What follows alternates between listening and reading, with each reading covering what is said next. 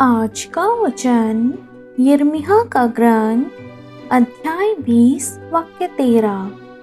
प्रभु का गीत गाओ, प्रभु की स्तुति करो, क्योंकि वह दरिद्रों के प्राणों को दुष्टों के हाथ से छुड़ाता है।